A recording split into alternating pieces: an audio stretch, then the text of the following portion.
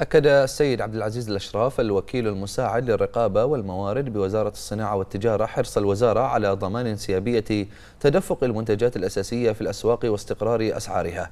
جاء ذلك خلال تنفيذ الحملات التفتيشية التي شملت الأسواق التجارية ومنافذ بيع السلع الغذائية والرئيسية بمختلف محافظات مملكة البحرين وذلك استمرارا للحملات التفقدية والرقابية الدورية على الأسواق التجارية للتحقق من توفر السلع الغذائية والمنتجات الأساسية واستقرار أسعارها. وأكد الأشراف بأن النتائج تشير لاستقرار عام في توفر السلع والمنتجات الأساسية مع وجود مخزون غذائي بكميات كافية ووفيرة حيث يحرص التجار على توفير مختلف الأنواع من السلع والمنتجات ومن مصادر متعددة بالإضافة إلى استمرارية العروض والتخفيضات التي تقدمها المحال التجارية لبعض السلع والمنتجات لتكون في متناول الجميع.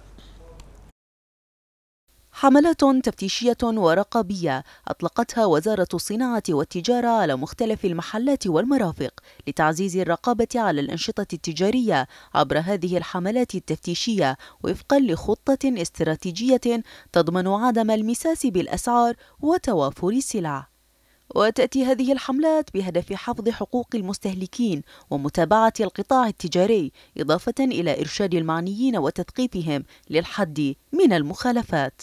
تكثيف الحملات التفتيشية في الفترة الأخيرة تزامنا مع اقتراب حلول عيد الأضحى المبارك للتحقق من المواد الأساسية والسلع المتوفرة في الأسواق والحمد لله بشكل عام آه، لاحظنا أنه ثبات في الأسعار وتوفر في المنتجات بشكل عام.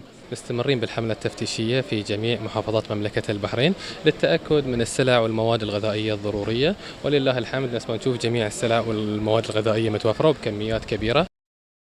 بأسلوب تقني متطور تمضي الوزارة قدما حرصا منها على التطبيق السليم للقوانين بكافة جوانبه الفنية والتنظيمية والإجرائية والرقابية على أسعار السلع الاستهلاكية الأساسية مع ضمان سرعة وفعالية الأداء في المهام الرقابية.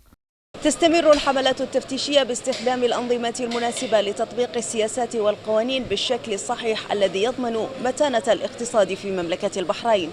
شوق العثمان لمركز الأخبار تلفزيون البحرين.